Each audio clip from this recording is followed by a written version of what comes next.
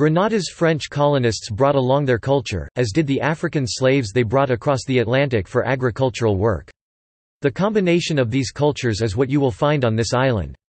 Indians have also influenced the island culture in more recent years.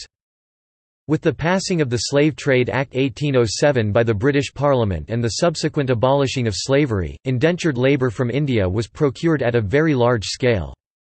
The first ship, named Nicker Jeremiah, departed from Calcutta, India on January 27, 1857 and arrived a few months later on May 1. In all 3,206 East Indians arrived in Grenada by 1885. Only 380 of them returned to India. The Indians made many contributions to Grenada.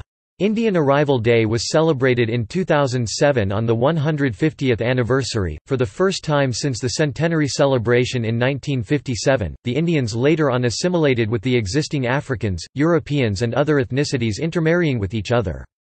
This very much influenced the culture and cuisine of Grenada.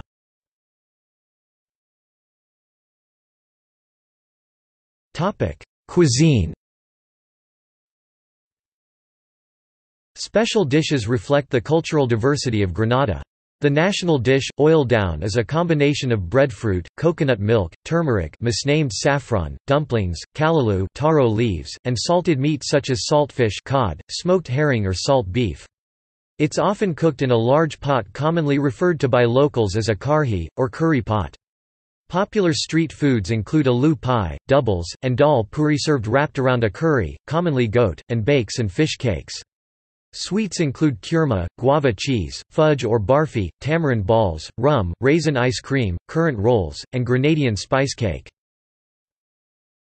Topic music and festivals Music plays a huge part in Grenadian culture, with the annual carnival competition generating new soca and calypso material in August. The rest of the time soca, calypso, and reggae are the mainstay on the minibuses competing for the loudest, and unfortunately, sometimes fastest bus service. Zouk music has also been imported to Grenada from other French Caribbean islands recently. Other local celebrations include the National Dance Festival and Independence Day.